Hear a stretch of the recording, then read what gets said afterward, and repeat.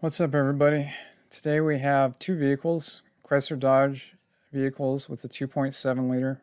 First one's a 2008.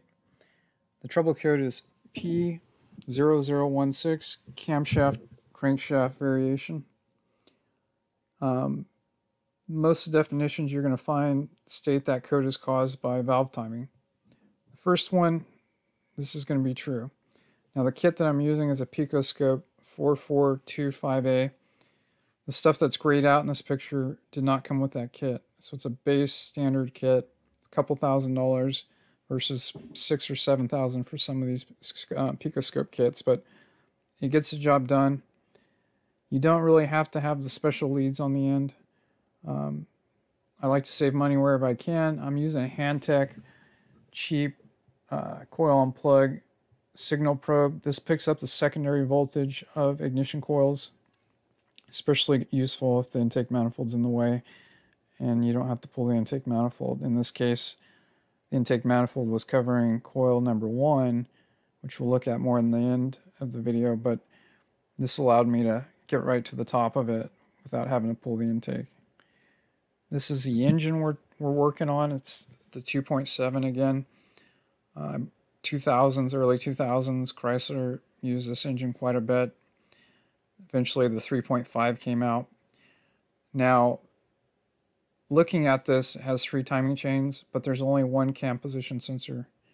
It's on the left side of the engine if you're sitting inside the car and the motor is facing the radiator up front, which is longitudinal mount. Transverse, this uh, cam sensor would be on the radiator side. Now there's a tone wheel. Again, it only has it has only one cam position sensor. You see the arrow is pointing at the cam position tone wheel. It's riveted. It's not bolted. Haven't seen one loosen up or be off in that regard, but if you have an earlier year, this is a 2008, you can have a different engine computer, which means the tone wheel is going to be a little bit different. So be careful with that. That should cause a delayed start or a no start. If you put a used engine in with a different computer, and you would uh, probably get a code P0344 or P0340. You could get P0016 if it has the wrong tone wheel. It really depends. Um, but yeah, be careful with that situation. Now this first one, 2010 Dodge Charger with the 2.7, cam crank difference is 16 degrees. It was setting P0016, which possible causes valve timing. But it says that it's in sync with it running on the cam sync state. If you look there in the crank sync state, that says in sync as well. It's um, technically the data is saying, other than the 16 degrees, that it's in sync, which is not true. This picoscope, I'm tied into the cam position sensor signal wire at the computer, and then right next to it at the computer, C2 connector, is a crank position. The red is a cam position signal, and the blue in this picture is a crank position sensor. I'm going to show you in a few seconds what a good signal should look like, but right now we have uh, in in that situation looking at that picture, that was actually one tooth off. And it was one tooth off at the crankshaft. Real easy to do if you don't have a mirror setting the timing on this engine because it's low in the car, you're bending over, and it's not in an easy position to look at without a mirror. So that and the tensioner system uses a unique uh, timing chain tensioner and it might have jumped a tooth when they set it up. After I set the valve timing now it says four degrees.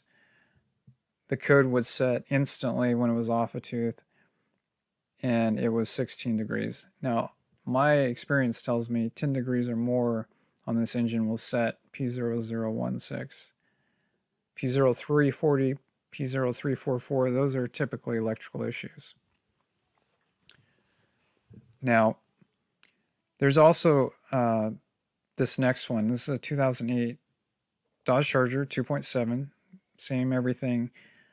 And it had the same code, P0016, but the cam crank difference is minus 5, and it says in sync, but minus 5, that should not set P0016 in my experience.